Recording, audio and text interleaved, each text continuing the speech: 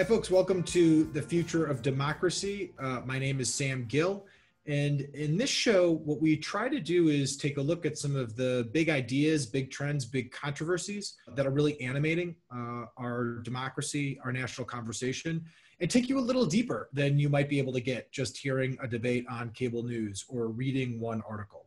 And this month, we are teaming up with the Miami Book Fair to host an amazing set of conversations with authors, with artists, focused on different topics about what they think about the future of democracy. And this is all leading up to the 37th annual Miami Book Fair from November 15 to 22nd. The book fair is an incredible collection of authors, an incredible collection of books, a really vital conversation about ideas. If you're interested, please go to miamibookfaironline.com uh, or follow them at, at Miami Book Fair if you're not interested, then you're not paying attention to the incredible authors they're going to have. This year, Natalie Portman, uh, the actress, is going to be a part of the Miami Book Fair. Bill Nye, the science guy, is going to be part of the Miami Book Fair. And you can hear every single presentation, every single talk for free, but only if you tune in from November 15 to 22nd. One of the featured authors is the New York Times economic columnist Eduardo Porter. He's been a member of the New York Times uh, for almost two decades, a journalist for many more years than that. And he has written uh, a riveting new book, American Poison How Racial Hostility Destroyed Our Promise. Had a chance to sit down with Eduardo, understand the book, the idea in the book, and what it means for our democracy today. I hope you enjoy the conversation. All right. Well, thank you so much for joining us. No, thank you for having me. So, the basic thesis of the book is that racial antipathy has effectively undermined our opportunity for a truly effective social safety net and really to be the kind of opportunity society that we talk about. Can you explain this? Yeah. I would start by saying that it's broader than just the safety net. I mean, my my kind of proposition is more uh, ambitious than that. It's that racial antipathy, racial animus has pretty much worked its, its way into all of our institutions and our social norms and that so that includes kind of like the labor movement. It includes includes our criminal justice policy and of course it includes the social safety net. Now how uh, there's there's several parts to, to, to my analysis one part is looking at the social science literature, the economics literature, which has a, a, there's substantial research on the impact of you know what they what what economists like to call ethnic divisions on on on generosity and the provision of public goods and the you know willingness to redistribute in groups. And the finding in paper after paper is that more heterogeneous groups uh, are are more uh, reluctant to spend on public goods and redistribution and there's really interesting instances in, of in, very specific instances in the American experience of this. Uh, and then the, the, other component is like looking at our history. Um, and I start with kind of like with the New Deal because that's really when we start building a real government. I mean, up until the New Deal, you know, government revenue is kind of like a fairly small share yeah. of the economy. And it's not really until the New Deal that that starts ramping up. By 1945, when FDR dies, the share uh, of, of, of, you know, uh, revenue, government revenue as a share of, of GDP is roughly the same as it is today at, the, at the federal level. Yes. So, you know, but and when, when, when FDR arrives into office, it, the government is still relatively small. But so anyway, so I start looking at well, what happens with the, you know, how we spend this money, you know, the program starting with the New Deal and how kind of like racial antipathy, racial hostility kind of works its way into our decisions, into the programs. And, and, and, and from the New Deal to this day, you know, program after program, initiative after initiative, you can see the role that this antipathy is playing. So, I mean, to put you like the the greatest examples uh, um, of, of, New Deal uh, times is, you know, well, Social Security uh, in its first inception happened to exclude both uh, household work and farm work, which happened to employ two thirds of African American workers at the time. Um, also, the Fair Labor Standards Act included these occupations.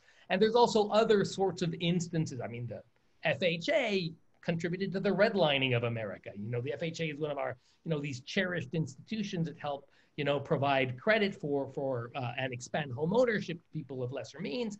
Well, you know, they also contributed to the segregation of this country that still persists to this day. So that's kind of like my starting point, um, and I bring it up to the present. So something I'm, I thought it was it, it, it, it, there's a lot of sort of myths that get exploded in the book, and and and I think starting with the New Deal is especially was especially powerful for me as a reader because I think to a lot of a lot of a lot of folks who kind of believe in sort of the the myth of progressivism in this country from really from sort of Roosevelt onward, the New Deal certainly to me is the moment where the technology of the administrative state gets oriented towards social policy in a pretty profound way. And I think creates the idea of a, of a modern social policy, not only in the United States, but I think in a lot of the developed world, a lot of the architecture of what a social policy should do for a country. To your point, social policy construed much more broadly than social safety net. And I guess I'm interested in, as you documented the history, how does how does the the sort of logic of racial antipathy crystallized because what's interesting about that history is that you document moments where there's sort of obvious racial animus. You document a lot of moments of compromise where sort of the politics of compromise enable um, the sort of codification of racial antipathy. And then you also document like moments of omission, you know, moments when the orientation of the administrative state toward these social problems just isn't taking realistically, uh, taking on realistically what racial antipathy looks like on the ground, what it should be undoing effectively and its mechanics. What what what is it that's is there is racial antipathy sort of driving policy, or is it just like a, just a sort of a series of small cuts that lead that that that results in a sort of a deeply racist logic in the way that these programs manifest and the sort of the society that we're left with? Yeah, I think that racial antipathy is is anterior to everything else. It's before economic policy, it's before left right ideological positioning, it's before culture war type dynamics over sexual orientation or guns. It's a very, very, very old uh, a, kind of psychological trait. And I would I, I would want to clarify that it's not just Americans that suffer this. I mean, I think mm-hmm. racial antipathy is present all over the place and it has been present all over the place for a very very long time. It's just the specificity of our history and how we start you know how this this nation emerges as a modern nation from from slavery and how its identity is construed out of many different peoples that makes this kind of like racial antipathy front and center at every step of the way. But i would i you know that's it's one of the I think it's complicated for progressives to to read it in this way because you know there's this thought of you know all the the the the, the downtrodden people or all the the more vulnerable people coming together to to fight against against corporate power that is kind of exploded by this nation. Well, that in fact no, some of these dividing lines, in fact, all of these dividing lines, all of this animus also exists uh, um, on the uh, on you know on, across the ideological spectrum. I would note though that today in present day United States there has been a, a, a selection of so like kind of like white identitarian politics, white grievance, and you know, and a lot of racial animus has selected itself into the Republican Party. Mm. And the Democratic Party, you know, so rural white uh, um, um, uh, voters have moved more towards the Republican Party, and the sense of grievance that they carry has has kind of like informed the, the, the ideology of republicanism.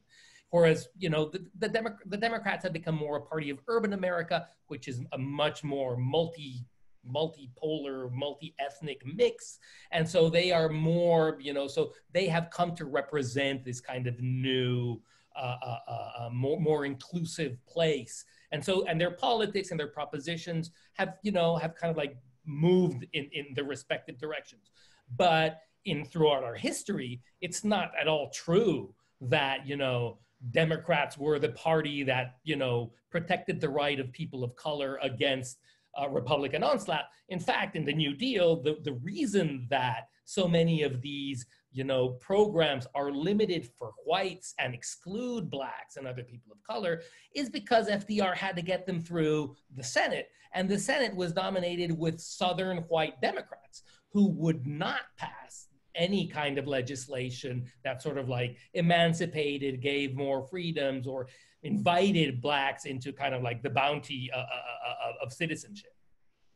So what you know, the the let's spend a moment on this question of sort of the anteriority of of racial animus and racial antipathy because you know one of the one of the the right so so one form of depression reading the book is if you've got this progressive myth making it gets exploded pretty quickly within a few pages. And then sort of another form of depression is there's a fatalism that sort of sets in for the reader which is that it's hard to imagine whites going along you know with the social with a, with a social policy with a political economy that could possibly be equitable on racial grounds. Do you is that fatalism warranted, or do you are there seeds of hope in, in after after having documented this? You know, yeah, though that's a really key question. It's a question that I hate though.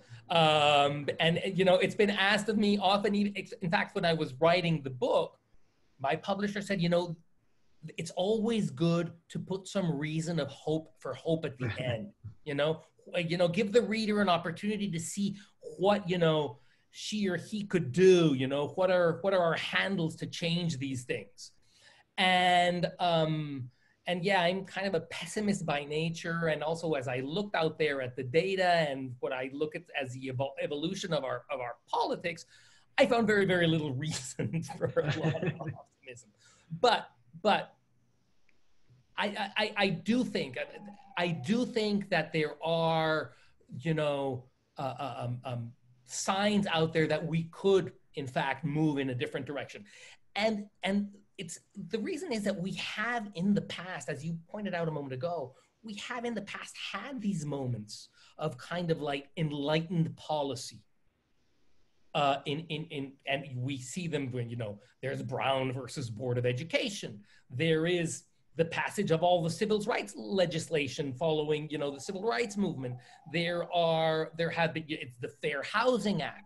There have been efforts to desegregate education um, and there have been efforts to desegregate our urban landscape. Even today you see you know uh, small you know initiatives taking place at, at the municipal level or at the state level. So i do see I think I think that the problem is that we've never given these initiatives the real shot at succeeding.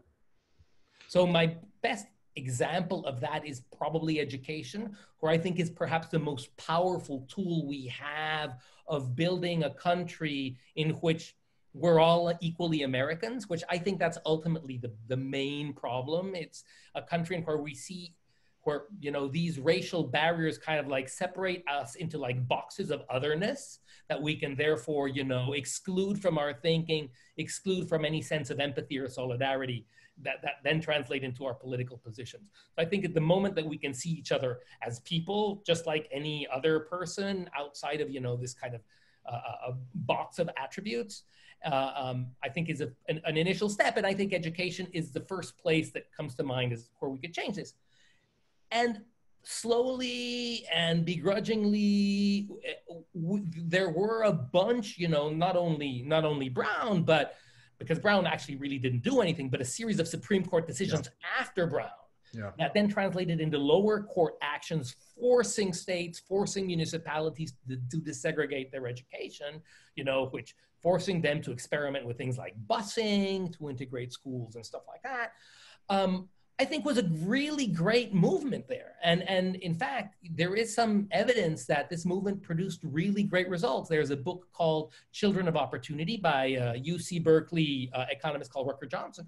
And his book is, it finds really great proof that kids, uh, African American kids who were educated in the kind of like the more in the integrated era, had much better outcomes, not only in education, but in income later in life, in family formation. They were less likely to end up in prison. I mean, really substantial gains in outcomes for, for, for, uh, for, for Black kids. Um, and with absolutely no deleterious impact on, on white kids, by the way. And, and nonetheless, the politics of these efforts were was so were so fraught that they didn't hold the line, and so you know. Um, Vice President Joe Biden was one of the forces against busing to put an end to busing, to just go back to the bipartisanship of these kinds of, of these kinds of policies. Um, and uh, suburban white America could not really, you know, accept this.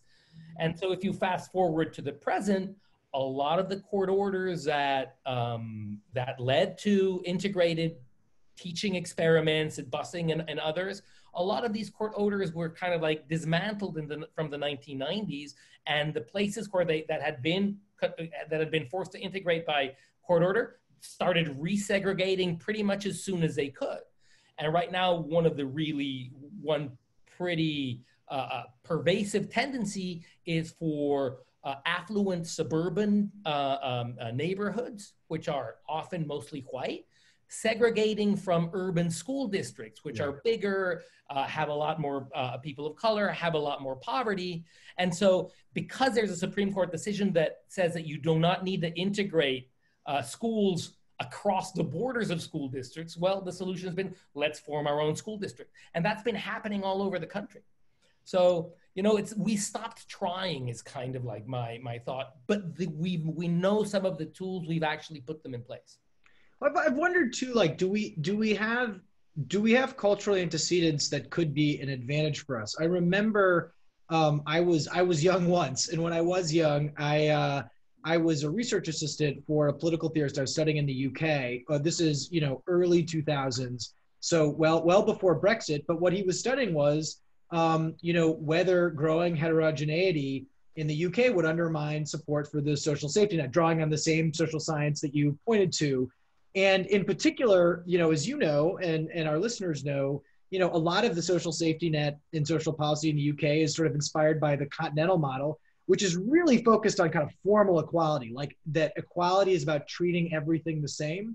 And the US really does have a longer tradition of thinking about equality as kind of treating relevant difference differently, not uniformly throughout our history, but it's an idea that we can draw on in, you know, even our discourse of equity, which admittedly is a more elite discourse, sort of unimaginable in a continental context. You would not be having discussions about equity in race in a continental context. And so I, you know, I used to, I've, I've derived, you know, your book made me feel naive, but I've sort of derived hope in the idea that we do have some, some, some rhetorical elements at our disposal. To your point, like if we could commit to some of the interventions, if we could commit to some of the facts on the ground about, about how society is being experienced, about the real material outcomes that it delivers, we're not sort of bereft of philosophical tools in which we can see an American story that actually is about about about recognizing these differences and then addressing them to become the kind of society that we want to be.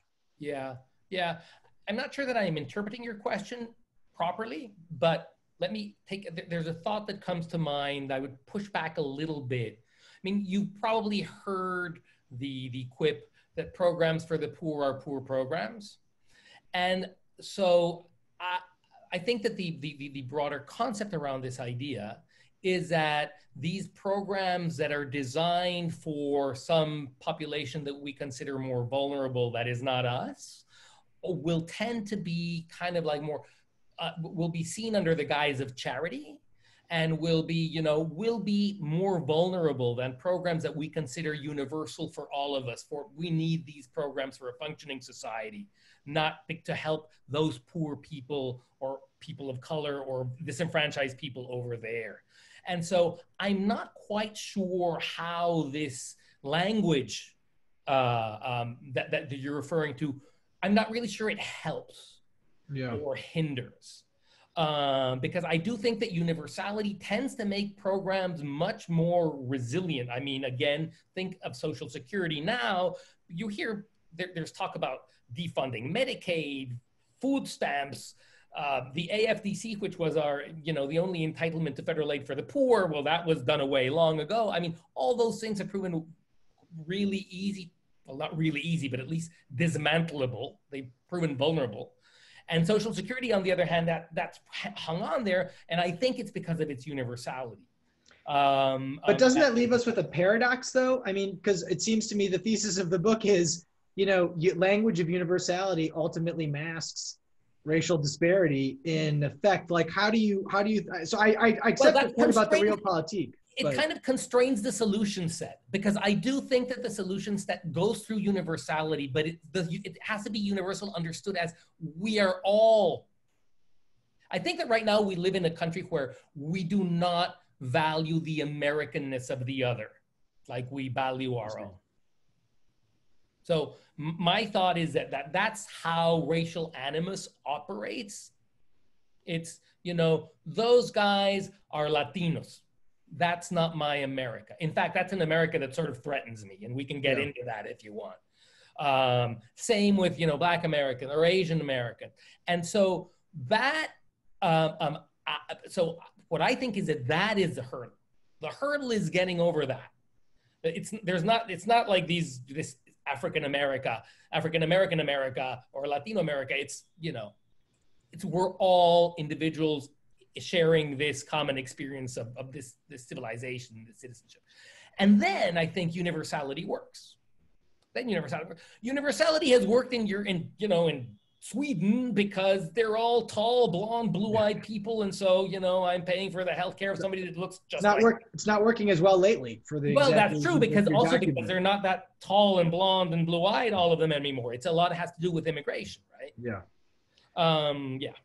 No, so, I think so. So, but so then let me ask you another question about that, which is we're we're living in a moment where, um, one one argument, one version of the argument that we're all American and all in this together is uh, an argument about macroeconomic and social policy, about policies that will undo endemic conditions like inequality um, or persistent poverty, or, or, sort of pick your pick your issue mm-hmm. uh, around places where we see the social contract failing people in America uh, and disproportionately failing Americans of color.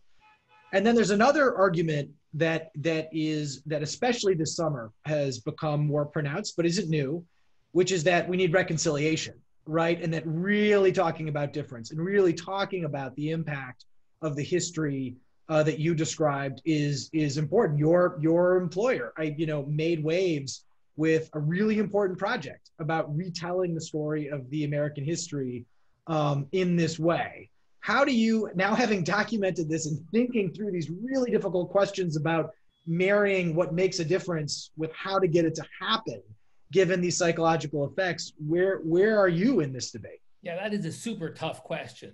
And and you know when i see what's been going on in the last few months following uh, the, the killing of george floyd and also the kind of the, the, the, the, conversation that emanated from the 1619 project at the Times and all that.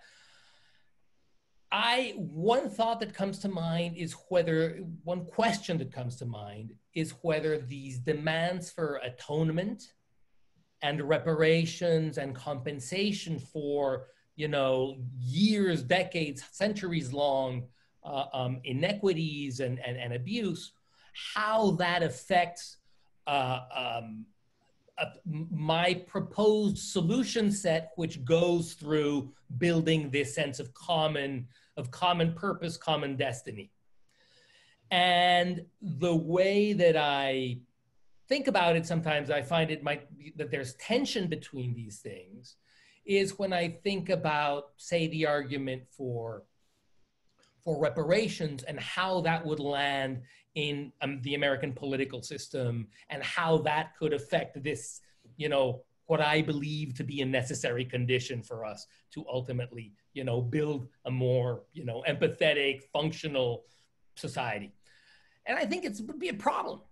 A problem. So the the you know, um, there's been some research suggesting that you know the equivalent of the of 40 acres and a mule today would be $80,000 for, for every, you know, for the descendants of, of, of slaves at the moment of, of emancipation. And, and two thoughts come to mind. $80,000 to each person is not going to solve decades long segregation and discrimination. You know, the day after that check is written, it's, I don't really see that we're in the society that I think we need to build.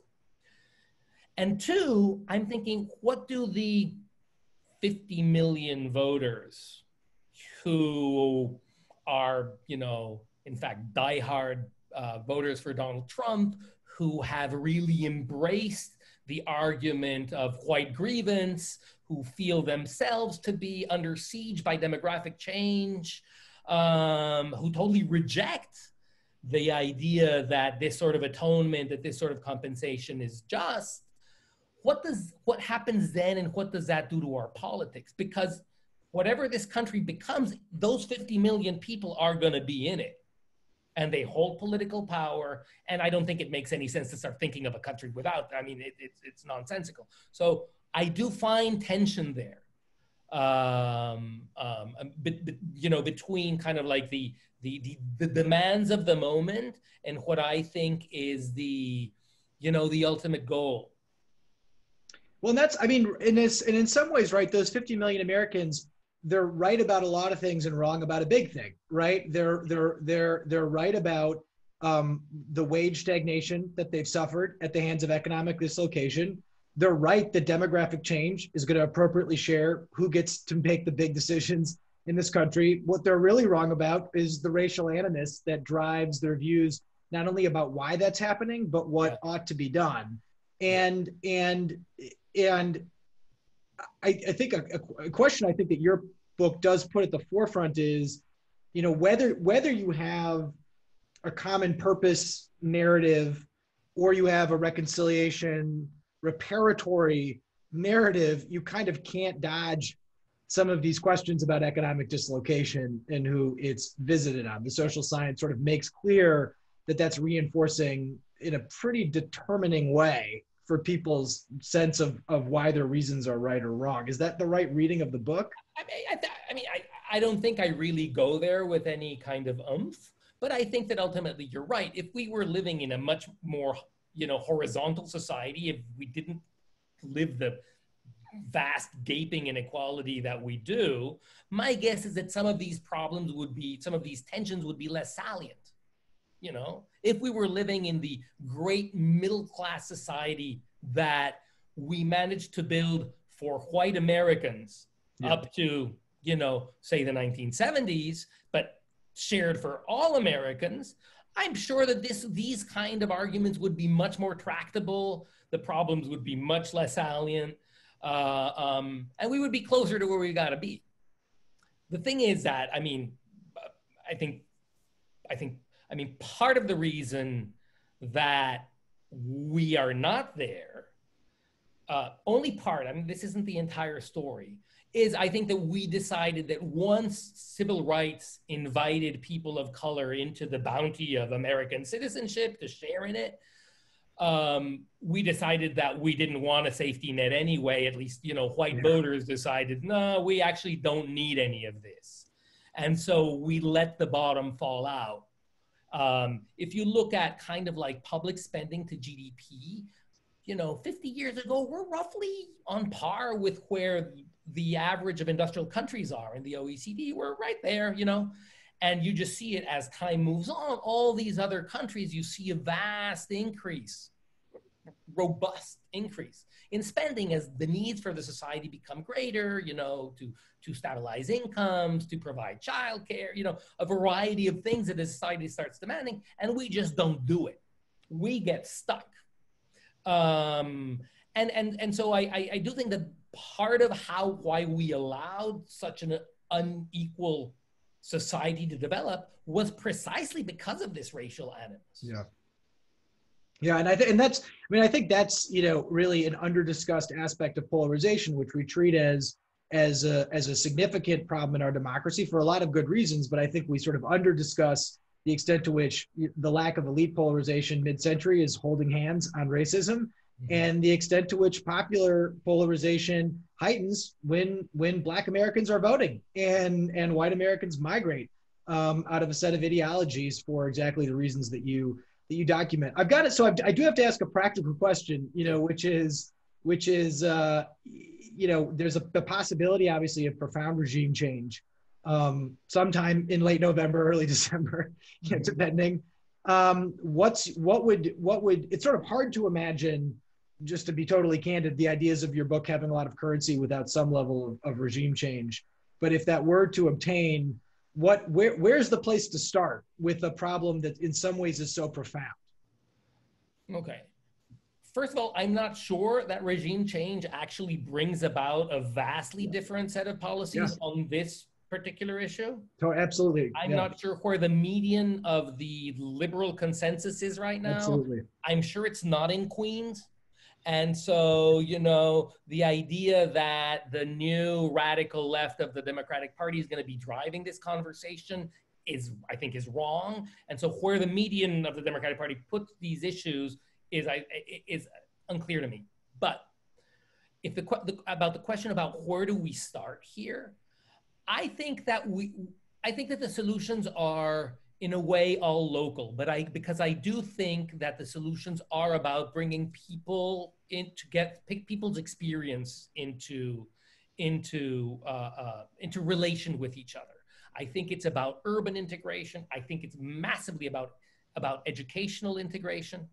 Um, and so I do think that I mean there are housing policies that are that are uh, uh um, promising. There's this whole idea of you know there was an experiment in the 1970s called moving to opportunity which was about moving folks of you know kind of like low income neighborhoods into better neighborhoods. And turns out that that had also immense impact on the outcomes for kids. And so i think there's a lot of tools but and, they, and they're about the lived experience of this country. So i think it's about you know about schools and about homes. Uh, i think that's a really really good place to start I'm not saying that I have that this is a complete set. I'm sure it's not. I think there is a very big job to do on the acquisition of wealth and the wealth gap. I find that amazing. I just came across a paper the other day that uh, showed that uh, two really crazy results. One was like the average wealth of an African American family in the 1960s was about 5% of that of a white family. 5%. Then fast forward to the present, you know, civil rights movement, you know, all this stuff, it's 10%. Unbelievable. And that's, you know, 50 years of what we used to call progress. Yeah. And so I think that's a, a huge, a huge challenge. I think that policies around housing and housing finance are probably going to be very helpful here. You know, I mean, it's kind of like the undo the the the decades long scar of redlining and urban, you know, and and federally enforced urban segre- uh, housing segregation. It's not clear to me how that works. You know, how you do that with the existing housing stock and gentrification going. It's don't really know, but I do think that there's a that there's a part for that. Um, but again, I'm not sure that that's where we're going. Um, I think I think that it's in these things are going to be treated first in urban America because I think urban America is going to welcome them more. Urban America is future America. Urban America is where you know Asian Americans and Latinos and blacks and whites are living together. Uh, the kids are going to the same schools. That's where you're building that kind of substrate of, of, uh, of multiple identities, of shared identity that I think is important.